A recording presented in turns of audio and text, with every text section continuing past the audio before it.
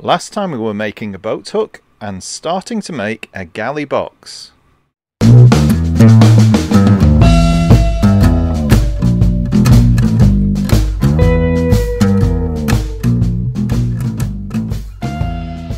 I was making the galley box from pieces of wood I had left over from the boat build.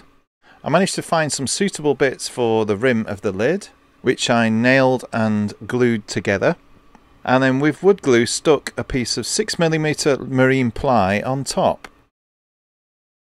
Then I cut a piece of southern yellow pine to size to make the retainers for the sliding front of the galley box.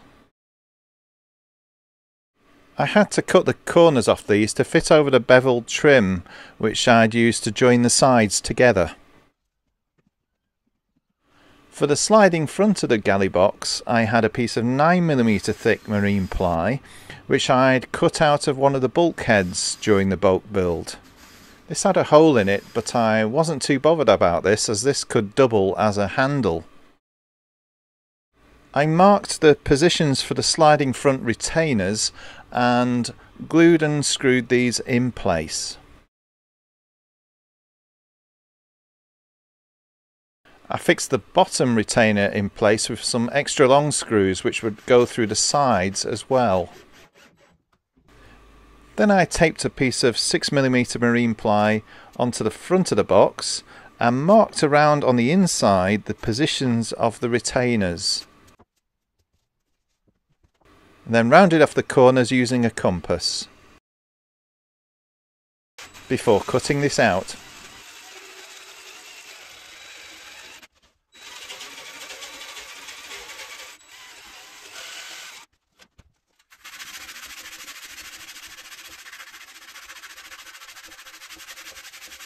And I stuck this on with some wood glue holding it in place with some clamps and some off-cut pieces of lead.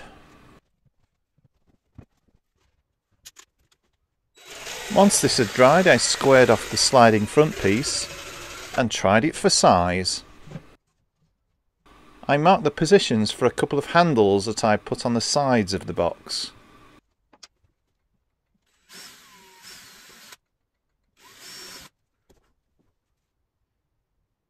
And glued and bolted these in place.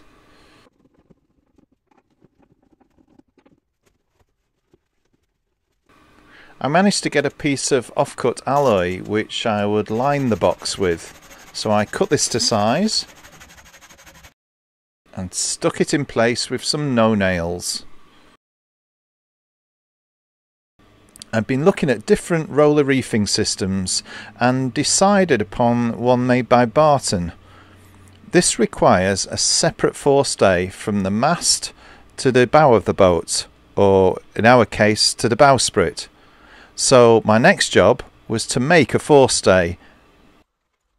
I started by fastening a thimble onto the pad eye which would fasten onto the top of the mast and attach this to a piece of stainless steel cable. Then it was time to raise the mast again with Nelly supervising of course.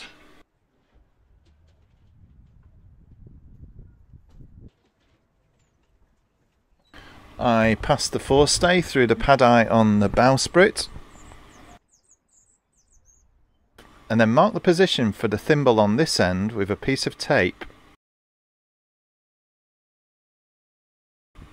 When doing this I needed to allow room for a turnbuckle. Then I dropped the mast again and fastened the thimble through the end of the turnbuckle onto the end of the cable.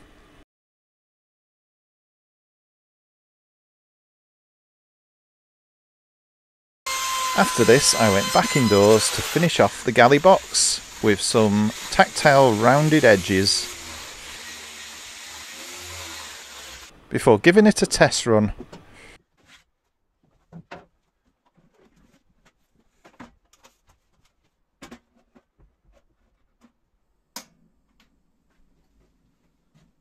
and some coats of varnish.